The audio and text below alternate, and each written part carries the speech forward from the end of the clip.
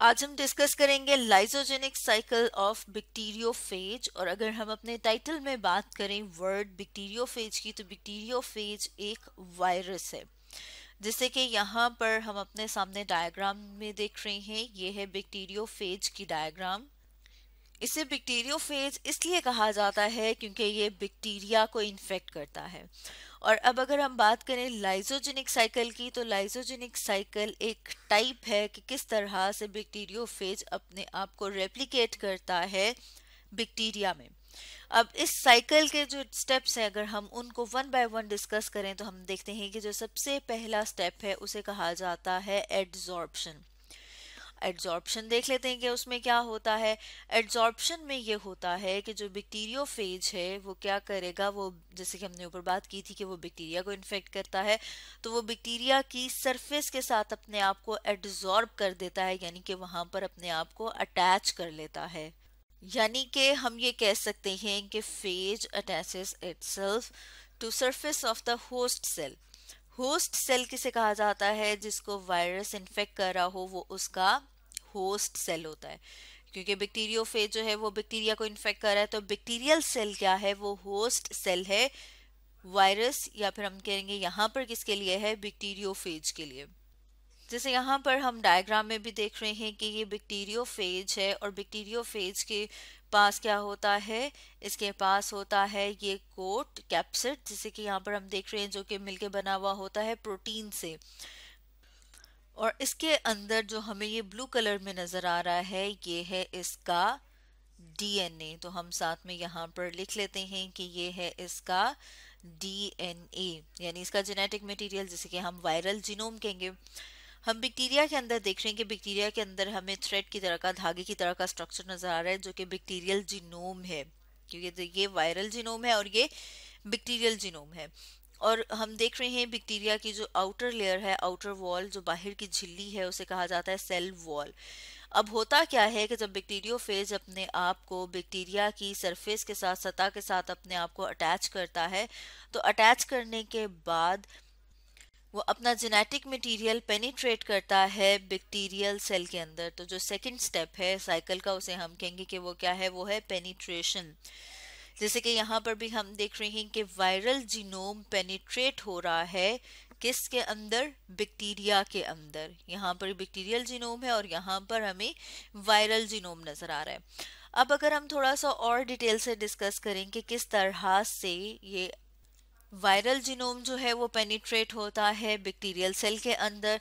तो हम देखते हैं कि ये जो वायरस है बैक्टीरियोफेज इसके पास ख़ास किस्म का इंजाइम मौजूद होता है, जिसे कहा जाता है लाइजोजाइम लाइजोजाइम जो है वो बैक्टीरिया की सेल वॉल को, जैसे यहाँ पर ये जो हमने ऊपर बात की थी, क्या है इसकी सेल वॉल सेल वॉल को डाइजेस्ट करेगा।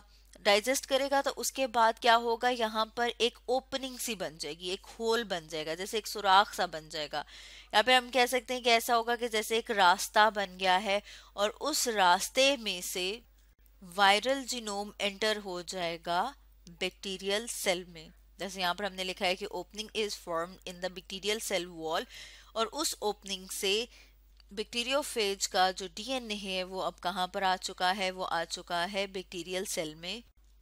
अब अगर हम ये देखें कि पेनिट्रेशन के बाद क्या होता है तो हम देखते हैं कि पेनिट्रेशन के बाद होती है रेप्लिकेशन लेकिन ये जो रेप्लिकेशन है, ये किस तरह से होगी? इसके लिए हम थोड़ी सी और डायग्राम्स अपने सामने ले आते हैं, ताकि हमें समझना और आसान हो जाए।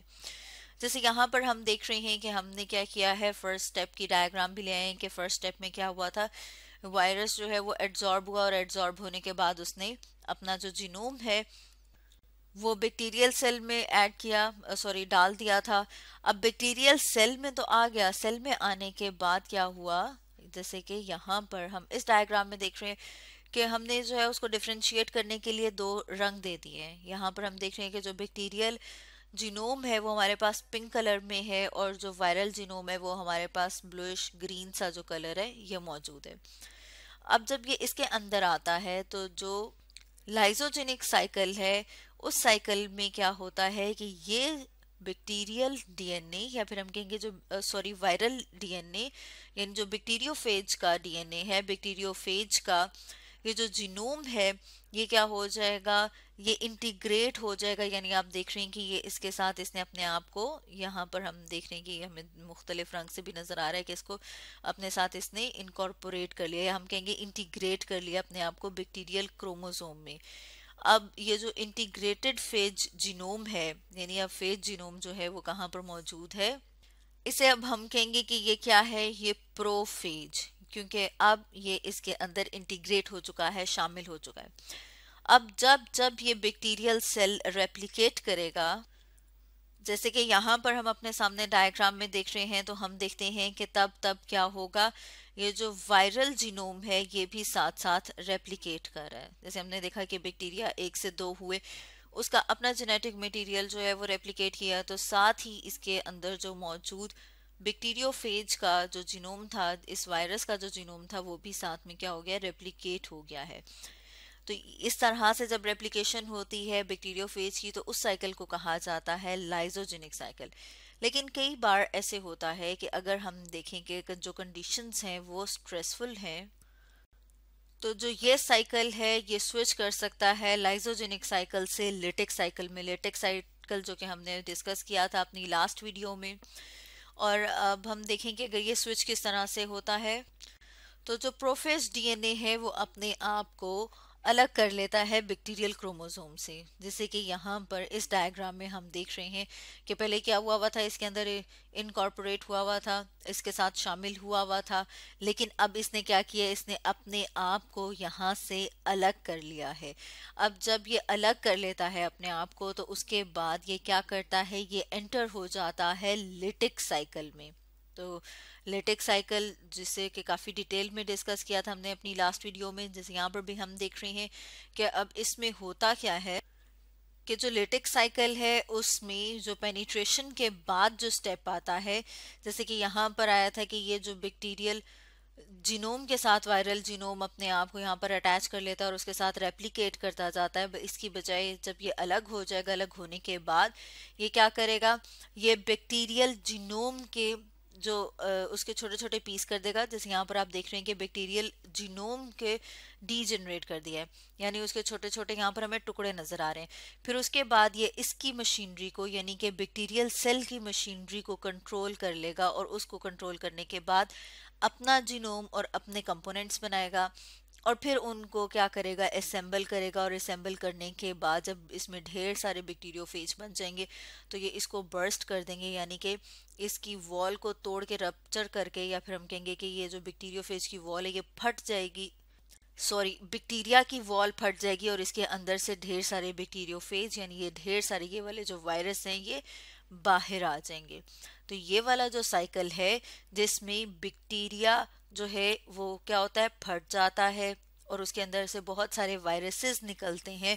इसको कहा जाता है लेटिक साइकिल जबकि ये जो साइकिल है, जो कि आज हमने डिटेल में डिस्कस किया, इसे कहा जाता है लाइजोजेनिक साइकिल तो स्टूडेंट्स आज हमने डिस्कस किया लाइजोजेनिक साइकिल के बारे में।